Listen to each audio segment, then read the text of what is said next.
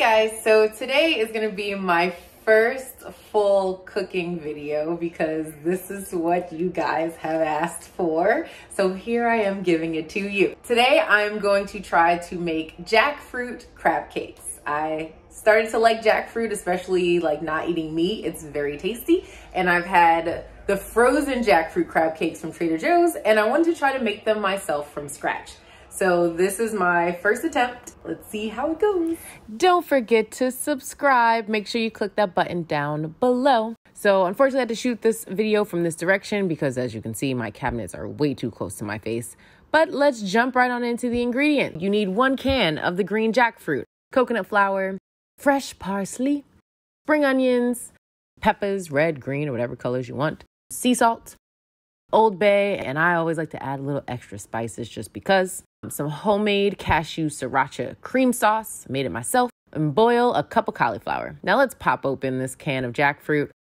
Make sure you rinse it, especially those. Now, for those of you that have never seen jackfruit pieces before, these are them. There's these little hard parts at the tip that you actually should cut off because you just want to eat the other part. So let's just chop those babies off. Chop, chop, chop, chop, chop. Once you're done chopping them, then you want to boil the jackfruit just a little bit to soften it up. Once the cauliflower is done, make sure you drain that as well. Yum, yum, yum. I love cauliflower. It's one of my favorites. Then you want to make sure to chop up the cauliflower as much as possible, even like smash it to make it like really small and flat.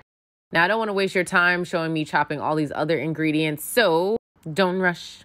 Don't rush. All right, here are the different ingredients parsley, spring onions, cauliflower, and the peppers. Put that all together. Now that the jackfruit is done, you want to smash the jackfruit as well. You see how easy it breaks up? Look at that. Look at that. Just pulls right apart. Doesn't it look like crab to you? I'm sure it does.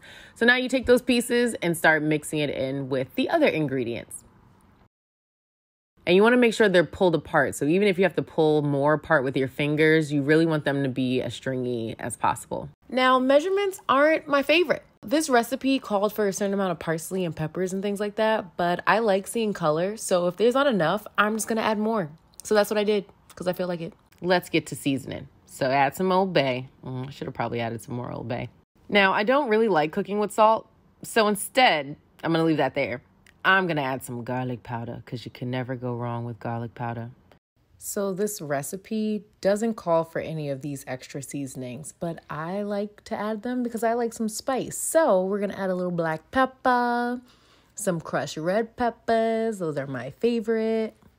Then you wanna add three scoops of that sauce. Now, you can also use vegan mayonnaise if you like, but I wanted to use my cashew sriracha cream sauce. Mix that baby on up. And let's just add a little more cayenne because you know I like a little kick.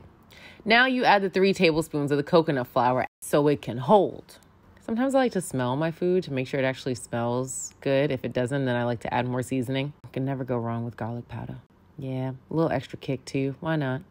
All right, now you want to form it into little like patties or balls, however you want your crab cakes to look. Then you want to saute them in some oil to brown them a little bit, not too much. Once you do that, you want to put it on a baking sheet with some parchment paper. You want to make sure to heat your oven to 400 degrees as well. So that could be all nice and hot before you put it in. Those look good already, don't they? I know. But just put them in the oven and make sure like it bakes all the way through. Not too long, maybe like a good 10 minutes. I know they still look the same, but they're all nice and warm and cooked on the inside. And now you have to try it.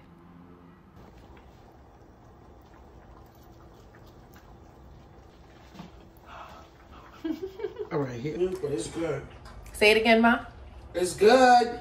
So, the jackfruit crab, crab cakes came out actually really good. I meant to record the other thing landscape, so forgive me for that part. But yeah, I'm actually I'm actually very proud of myself. Yum yum yum. Healthy and yummy.